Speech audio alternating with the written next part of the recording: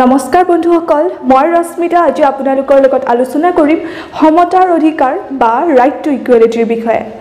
আমি আমি ইতিমধ্যে আলোচনা কৰিলোঁ মৌলিক অধিকাৰ মৌলিক কৰ্তব্য আৰু নিৰ্দেশাত্মক নীতিৰ বিষয়ে। গতিকে আমি ইতিমধ্যেই জানো যে আমাৰ সংবিধানে আমাক ছয়টা মৌলিক অধিকাৰ দি থৈ দিছে আৰু এই ছয়টা মৌলিক অধিকাৰৰে প্ৰথমটো মৌলিক অধিকাৰ হৈছে সমতাৰ অধিকাৰ বা ৰাইট টু ইকুৱেলিটি আজি আমি এই ভিডিঅ'টোত সমতাৰ অধিকাৰ বা ৰাইট টু ইকুৱেলিটিৰ বিষয়ে অধিক সূক্ষ্মকৈ আলোচনা কৰিম।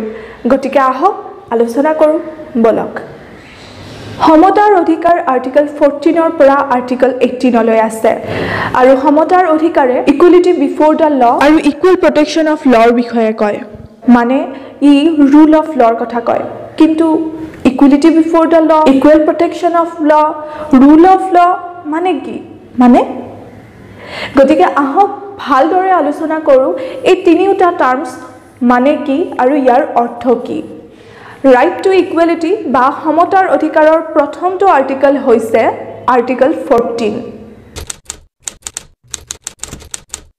আৰ্টিকল ফৰ্টিনে কয় যে ইকুৱেলিটি বিফৰ দ্য ল মানে ইকুৱেলিটি সমতা বিফৰ আগত দ্য ল মানে আইন। গতিকে যদিহে অসমীয়াত ট্ৰান্সলেট কৰা হয় তেতিয়াহ'লে হ'ব আইনৰ আগত সকলো সমান। মানে আমি যে ন্যায়ালয়ত দেখোঁ এগৰাকী বগা শাৰী পৰিহিতা মহিলা চকুত ক'লা কাপোৰ বান্ধি থাকে আৰু তেওঁ সন্মুখত ক'লা বগা ধনী দুখীয়া হিন্দু মুছলিম কোন মানুহ আছে তাক নজনাকৈ এটা ৰায়দান দিয়ে ঠিক তেনেকুৱাকৈ আমাৰ চৰকাৰ ব্যৱস্থায়ো সেই দিশটো সম্পূৰ্ণৰূপে চকু মুদি ইয়াৰ ৰায়দান দিব লাগিব। ঠিক সেই কথাটোৱে কয় ইকুৱেলিটি বিফৰ দ্য ল মানে আইনৰ দৃষ্টিত সকলো মানুহ সমান। আৰু আইনে এই দিশটো সম্পূৰ্ণৰূপে চকু মুদি যে তেওঁ কোন ধৰ্মৰ কোন জাতিৰ কোন লিংগৰ বা কোন জন্মস্থানৰ পৰা আহিছে তাক বিচাৰ নকৰাকৈ সকলোবোৰ কাৰ্যকলাপ কৰিবলৈ লাগিব। কিন্তু এই ইকুৱেলিটি বিফৰ দ্য ল বা আইনৰ দৃষ্টিত সকলো সমান এই অৱধাৰণাটো এটা নিগেটিভ চৰিত্ৰৰ। কাৰণ ই চৰকাৰক জোৰ জবৰদস্তি বলপূৰ্বকভাৱে হেঁচা দিয়ে প্ৰত্যেকজন নাগৰিককে সমান অধিকাৰ দিবলৈ। আৰু যদিহে চৰকাৰ ইয়াত ব্যৰ্থ হয় তেতিয়াহ'লে ন্যায়িক প্ৰতিৰক্ষা আছে যিয়ে ব্যক্তিজনৰ অধিকাৰক সুৰক্ষা দিবলৈ। মানে চৰকাৰে প্ৰত্যেকজন নাগৰিককে এই অধিকাৰ দিবলৈ বদ্ধপৰিকৰ। ইয়াক ইয়াক নিদিয়াকৈ থাকিব নোৱাৰে। আনহাতে টাৰ্মছ হৈছে ইকুৱেল প্ৰটেকশ্যন অফ দ্য ল এইটো কিন্তু পজিটিভ কেৰেক্টাৰৰ মানে ইকুৱেল প্ৰটেকশ্যন অফ ল এই যিটো ধাৰণাটো কিন্তু পজিটিভ চৰিত্ৰৰ হয়। কেনেকৈ? আহক। কাৰণ ই সকলোৰে সমান অধিকাৰৰ সুৰক্ষা মানে এইটো নকয় যে সকলোকে সাৰ্বজনীনভাৱে সমান অধিকাৰ দিয়া হয় মানে ধৰি লওক আপোনাৰ ঘৰত দুজন সন্তান আছে আৰু এজন সন্তান শাৰীৰিকভাৱে খুব সুস্থ সবল আৰু এজন হৈছে শাৰীৰিকভাৱে খুব দুৰ্বল। এতিয়া আপুনি কি কৰিব? যিজন সবল সন্তান হয় তাক তাক একাপ হয়তো গাখীৰ চাহ খুৱাই কিনে ৰাখিব। আৰু আৰু যিজন দুৰ্বল সন্তান তাৰ কাৰণে এগিলাচ গাখীৰ আৰু ফল মূলৰ প্লেট লৈ আহিব। কিন্তু এইটো কৰাত এনেকুৱা হ'ল নেকি বাৰু যে সবল যিজন ল'ৰা তাৰ লগত ভেদভাৱ কৰা হ'ল নেকি বাৰু? বা তাক সমান অধিকাৰ দিয়া নহ'ল নেকি বাৰু? ঠিক তেনেকুৱাই ধাৰণাটোৰ ওপৰত প্ৰতিষ্ঠিত হৈছে ইকুৱেল প্ৰটেকশ্যন অফ ল মানে ইকুৱেল প্ৰটেকশ্যন অফ লয় এইটো কয় যে সমতাৰ অধিকাৰে এইটো নুবুজায় যে সকলোৱে সমান অধিকাৰ সাৰ্বজনীনভাৱে লাভ কৰিব। এইটোৱে এইটো কয় যে দুৰ্বল শ্ৰেণীৰ মানুহে অলপমান বেছি অধিকাৰ আৰু সবল শ্ৰেণীৰ মানুহসকলে অলপমান কম অধিকাৰ পোৱাৰহে পোষকতা কৰে এই সমতাৰ অধিকাৰে। গতিকে আৰ্টিকল ফৰ্টিনে এই দুটা টাৰ্মছৰ কথাই কয়। প্ৰথমটো হৈছে equality before the law and ছেকেণ্ডটো হৈছে ইকুৱেল প্ৰটেকশ্যন অফ ল এই মনত ৰাখিব যে আপোনাৰ ইকুৱেলিটি বিফৰ দ্য ল যদিহে খৰ্ব হয় তেতিয়াহ'লে লগালগ আপুনি ন্যায়ালয়ত যাব আৰু ন্যায়ালয়ে তাক প্ৰটেকশ্যন কৰিব। কিন্তু যদিহে আপুনি দুৰ্বল শ্ৰেণীৰ মানুহ হয় আৰু সবলৰ সমান হ'বলৈ কিছু স্পেচিয়েল প্ৰভিজনৰ প্ৰয়োজন হয় তেতিয়াহ'লে কিন্তু চৰকাৰে বিশেষকৈ এখন আঁচনি বনাব লাগিব তেতিয়াহে আপোনাৰ ইকুৱেল প্ৰটেকশ্যন অফ দ্য ল সুৰক্ষিত হ'ব। গতিকে এই দুটা terms equality before the law and equal protection of the law এই দুটা টাৰ্মছৰ বিষয়ে কয় আৰ্টিকল ফৰ্টিনে এতিয়া আৰ্টিকল ফিফটিনলৈ আৰ্টিকল ফিফটিন জাতি বৰ্ণ ধৰ্ম লিংগ জন্মস্থান নিৰ্বিশেষে সকলো ভাৰতীয় সমান। আৰু চৰকাৰে কোনো জনসাধাৰণকেই এই পাঁচটা গ্ৰাউণ্ডৰ ওপৰত ভিত্তি কৰি কেতিয়াও বৈষম্য আচৰণ কৰিবলৈ নোৱাৰিব। আৰ্টিকেল ফিফটিনৰ ভিতৰত বহুকেইটা ক্লজ আছে। গোটেইকেইটা ক্লজৰ বিষয়ে এই ভিডিঅ'টোত আলোচনা নকৰোঁ নহ'লে নহ'লে ভিডিঅ'টো বহুত দীঘল হ'ব। গতিকে আৰ্টিকেল ফিফটিনৰ ওপৰত পৃথককৈ এটা ভিডিঅ' বনাম।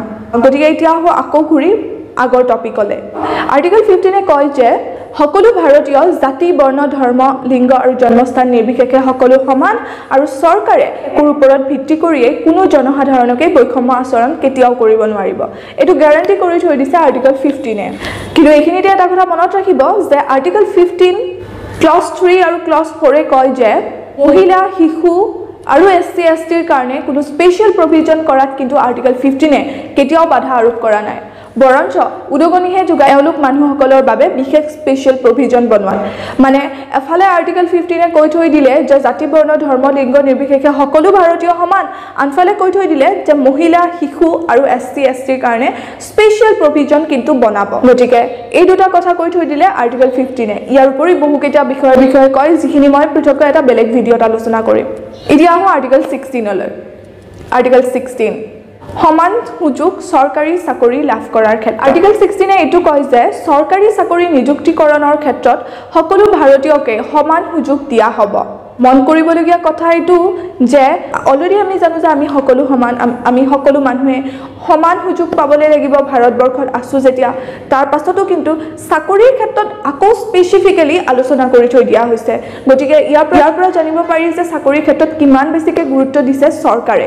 আৰু চৰকাৰী চাকৰি নিযুক্তিকৰণৰ ক্ষেত্ৰত যদিহে কোনোবাই কিবা অঙহী বঙহী জাতি বৰ্ণ কিবাহৰ ওপৰত যদিহে পাৰ্চিয়েলিটি কৰিছে তেতিয়াহ'লে ডিৰেক্ট এইটো এটা ক্ৰাইম কাৰণ ইয়াক স্পেচিয়েলি আলোচনা কৰি থৈ দিয়া আছে।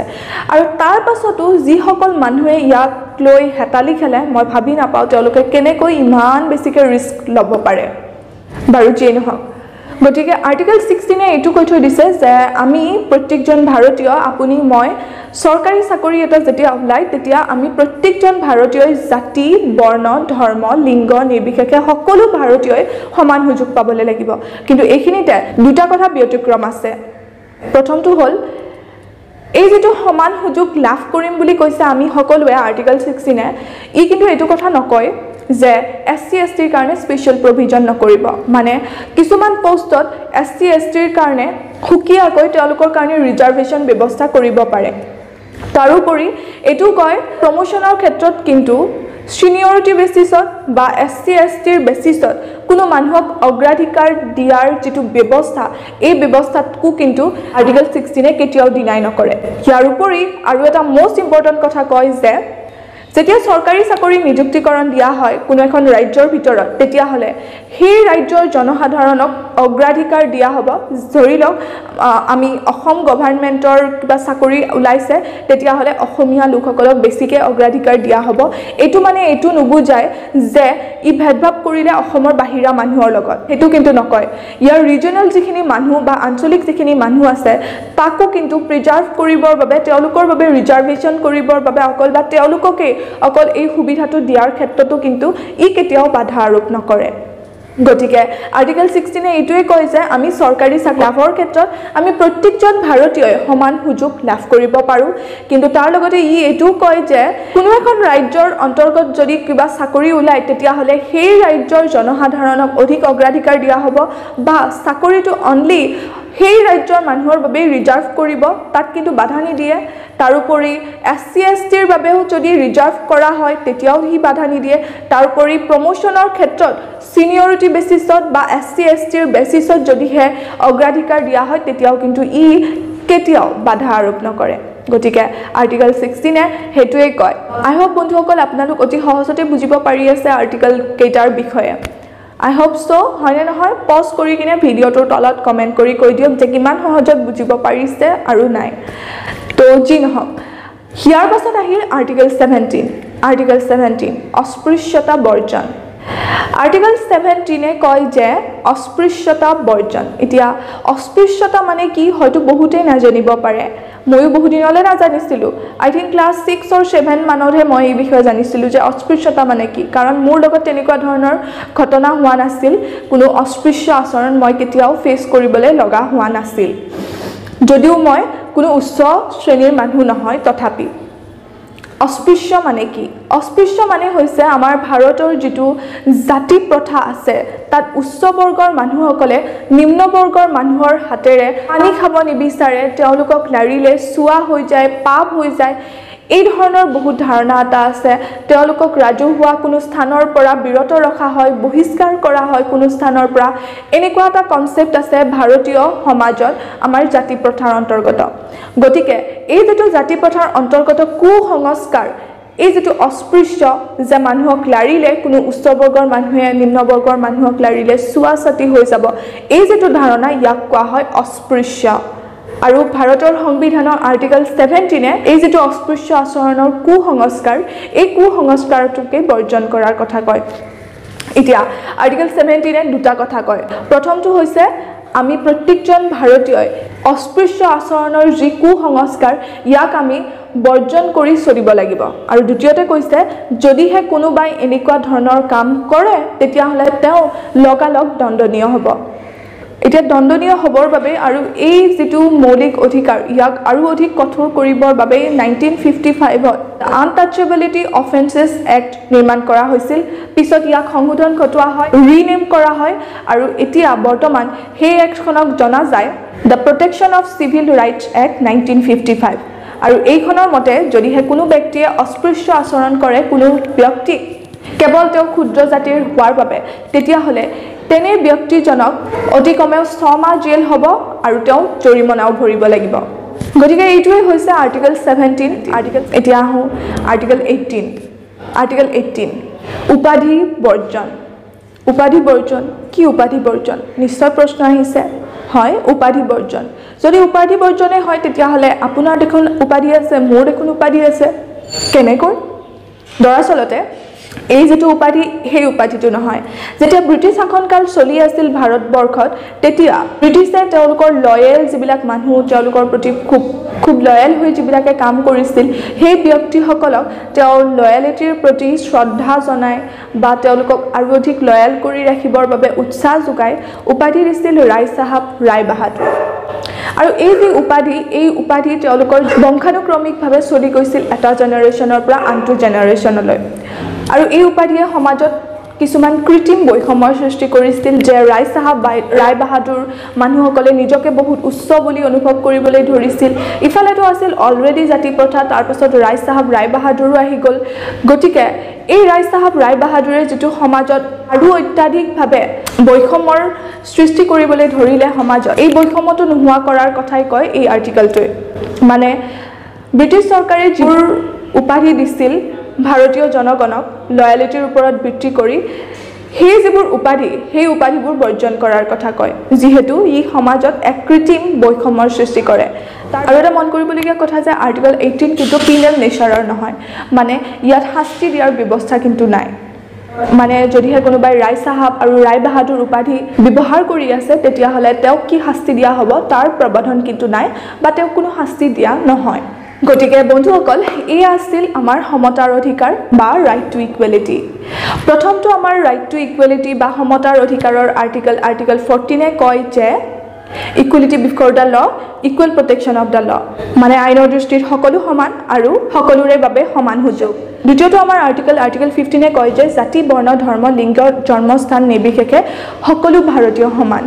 আৰ্টিকেল ছিক্সটিনে কয় যে চৰকাৰী চাকৰি নিযুক্তিকৰণৰ ক্ষেত্ৰত সকলো ভাৰতীয়ই সমান সুযোগ পাব। আৰ্টিকেল ছেভেণ্টিনে কয় যে অস্পৃশ্যতা বৰ্জন আৰু আৰ্টিকেল এইটিনে কয় যে উপাধি বৰ্জন।